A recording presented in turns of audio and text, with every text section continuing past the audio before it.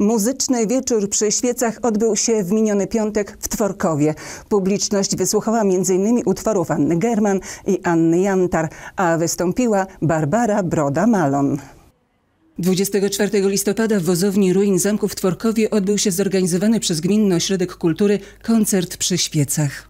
To już jest koncert, który ma wieloletnią tradycję, blisko 20-letnią, a może nawet więcej niż 20-letnią i co roku zbiera coraz więcej publiczności. Zarówno koncert, jak i sama wozownia, ta atmosfera przyciąga ludzi. Sam jestem e, mile zaskoczony, że tyle ludzi przyszło, że tych krzeseł trzeba dokładać. Dziękujemy pani dyrektor nowej z e, ośrodka usług kulturalnych, że to prowadzi. No i mamy nadzieję, że będzie miły wieczór, ludzie zadowoleni wyjdą z tej, z tej sali z takimi wspomnieniami już jakby tak przedświątecznymi.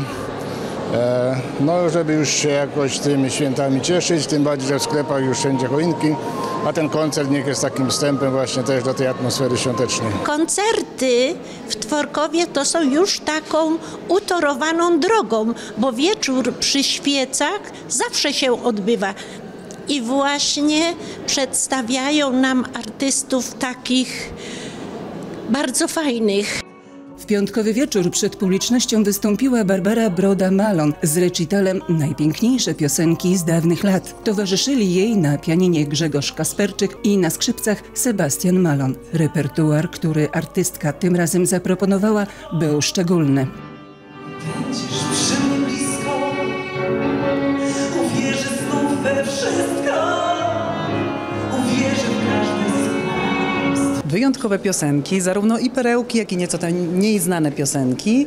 E, usłyszą Państwo i piosenki Anny German, Marka Grechuty, Anny Jantar, Ireny Jarockiej, e, Alicji Majewskiej i wielu, wielu innych. Zespół, jak powiedziała sama artystka, koncertuje wszędzie, od morza do Tatr. Jednak najlepsza publiczność jest właśnie w tej gminie. W gminie, do której została zaproszona już po raz kolejny.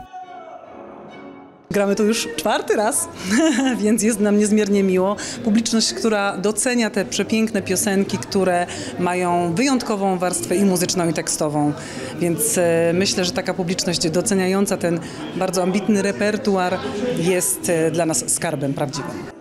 Wieczór przy świecach zgromadził liczną publiczność, która po brzegi wypełniła wozownię Tworkowskiego Zamku. Magiczna atmosfera tego miejsca, niezwykła osobowość artystki, ale też przybyli na koncert goście, to wszystko wpłynęło na wyjątkowy klimat wieczoru. Najpiękniejsi są ludzie, atmosfera, która jest wytworzona przez te osoby. Wszyscy przyje- przyjeżdżają tutaj z potrzeby serca, z pasji do, do miejsca, ale też do muzyki przede wszystkim. Mieszkańcy już się przyzwyczaili do takiego e, wydarzenia kulturalnego i bardzo dobrze, że ono jest.